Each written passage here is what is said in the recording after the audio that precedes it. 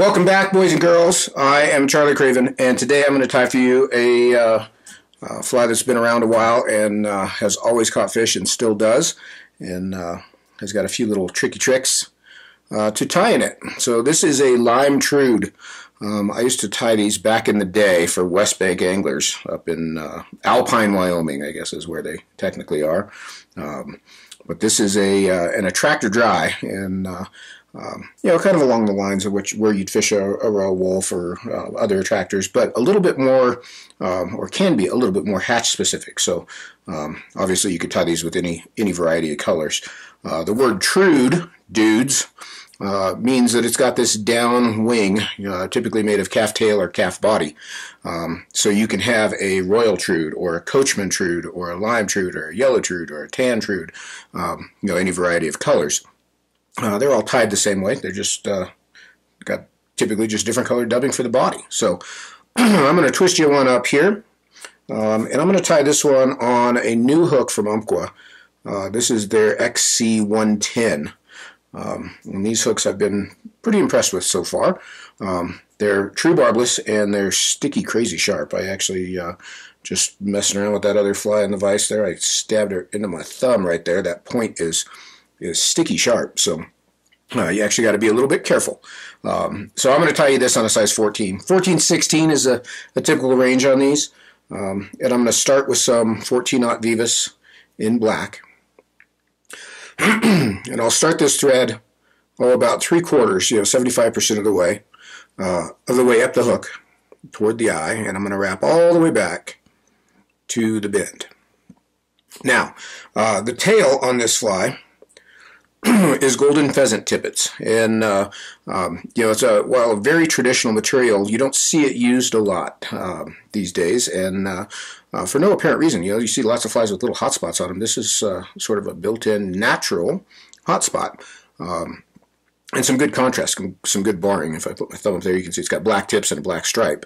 Um, and what you want to look for on these feathers is fibers that will allow you to make a tail. That shows both of those black bars. So let me get this held just right. Um, so if I measure this a shank length long, um, I am beyond the second bar. Um, so my tail will come out something like so. So both of those black bars will show. Um, and I'm sure that makes a, you know, probably 30 to 40% difference in the amount of fish you'll catch um, by having both those bars showing. So you can thank me later for that. So I'm going to peel a little clump of those off. I've probably got a dozen fibers or so. Uh, and I'm going to measure that a shank length long. Now this XC110 is a standard length hook. It's not an extra long hook. Um, uh, you absolutely could tie this on a, on a longer shank hook if you wanted. But I'm going to tie those in at the bend, and you can see how both those black, black stripes show on the feather. And I'm going to wrap forward over those butt ends, back up to about where I started the thread. Then I'll nip those ends out. Now, um, typically the uh, uh, body of this fly is made out of uh, chartreuse rabbit fur, which is what I used on this sample here that I tied up a little bit earlier. Um, that Nature's Spirit um, Hare's Mask dubbing works great for that. Uh, I'm going to use some superfine here, um, just because I like it to be a little bit tighter. Um, so I'm going to take some chartreuse colored superfine. And, you know, this is a size 14, so it's going to take more dubbing than you think. Um, but that is not to say that it takes five pounds of dubbing, so don't get carried away. Uh, but I'm going to start this fairly fat and kind of work a nice nice strand of dubbing onto my thread. Um, and the reason you want to have this dubbing on here fairly thick is we're using black thread with a light colored dubbing over the top. Um, so if you do a super thin layer, your thread will show through. Um, and you might see some of that here where I start this. Um, Probably not though. I did a pretty good job. I've got a, a pretty solid band of it on there. I'm going to use that bare thread to work back and get my first turn here just at the base of the tail. And then I'll work forward and you saw that, I, I didn't even hesitate there because I've been doing it. Um, with this longer point, these comp hooks have a, uh, a longer point. Um, because they're true barbless, they extend that point to make it hang in the fish a little bit better. Um, and it does take some getting used to when you're tying on them. That, that longer point is uh, not where you anticipate it, um, and you very often catch it with your thread or your dubbing like I just did. So I'm going to dub uh, right up to that 75% point, and then I'll come back and I'll start to work a, a taper up here. Uh, I'm going to go another turn back here. You can see how I can kind of stretch that dubbing out a bit. Just control my taper a little bit better. Um, I didn't change the amount of dubbing on the thread, I just changed where it went. And when I run out of dubbing, I should be uh, up on bare hook shank there at the front. Um, I've got, you can see I've got a little strand of dubbing there. I can barely see that with my eye, but you guys can see it on the camera. Um, I'll show you what to do with that. I'm going to wrap a thread base right up to the hook eye and back again to the front edge of the body. And if I didn't tie that down, I didn't because I was holding on to it, just cut it out of there. Um, there's another 7 or 8% more fish. Little gift for you. All right, so we've got a little tapered body there. Now the wing is going to be calf body or uh, calf tail hair. Um, I have always much preferred calf tail, or I'm sorry, calf body hair to calf tail. Calf tail is just a pain in the neck to work with. And calf body stacks up nicely and uh, uh, frankly I, th I, think is just just easier to work with. Um, if you have the patience to work with calf calf tail hair, by all means, knock yourself out.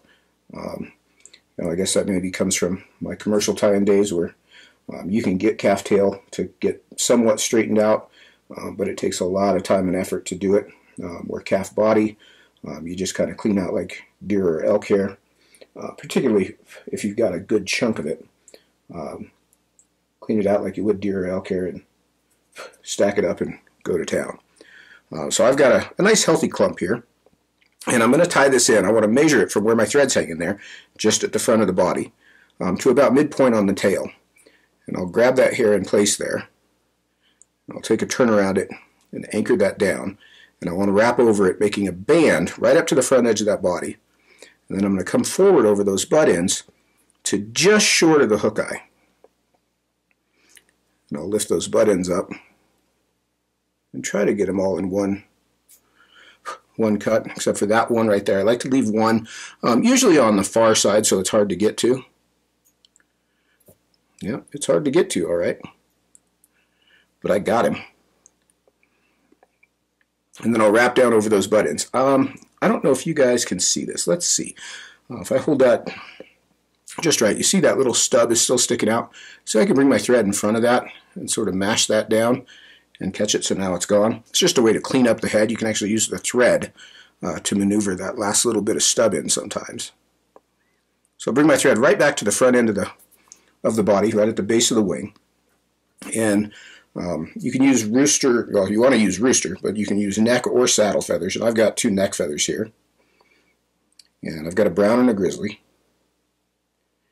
And I'm going to strip the butt ends so I expose some bare stem. Let me get a hold of that. And I stripped a little bit more on the inside of the turn. Uh, so the bottom side of those feathers I stripped just a little bit more than I did on the top sides. Um, and that's going to clear that first turn around the base of the wing there so it doesn't doesn't mess things up when I get there. Now I'm going to get both these feathers stacked neatly and trim the stems to the same length. And then I'm going to tie these in right at the base of the wing. And I want to anchor these down good and tight here. Um, I'll even spin my thread a bit. I can get a hold of it.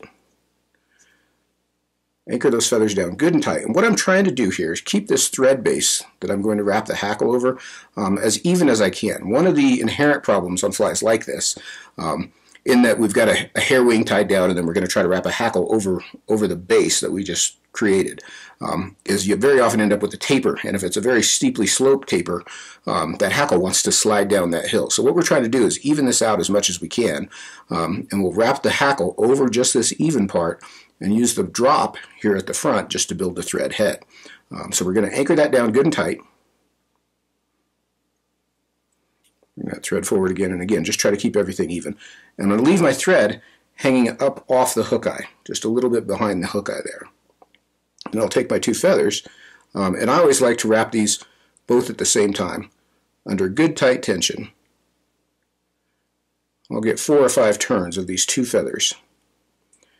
And you can see I'm still up on top of that, that thread base.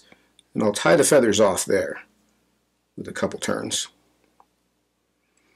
Come in and nick those butt ends out with the tips of my scissors. And kind of sweep everything back. And then I'm just going to make a few turns here to cover those butt ends. And we'll come in and whip finish over the top. So you get sort of an extended head, but a much cleaner hackle tie-off. Like so. Now one thing I like to do to these, any hair wing fly, um, I like to turn that fly upside down, and then I'll come in with just a little shot of thin head cement, um, and let that kind of run back in the base of the hackle and wings. Like so. And that is our finished lime Trude. Um, I fish this fly a lot. Um, you know, back in the day, I used to fish it a, a ton, um, and I've still got a lot of them in my box. You know, this is a fly that uh, um, you can kind of pull out if you've got weird light conditions. It's hard to see a, a darker colored fly. Um, that that bright white wing really does show up, and this will hang a dropper. It's got enough surface area to hold a dropper up as well. Um, but a couple little tricks on how to tie that one. So that's the old lime trude. Uh, thanks for coming to my TED Talk. I'm Charlie Craven. Stay tuned. There's more coming.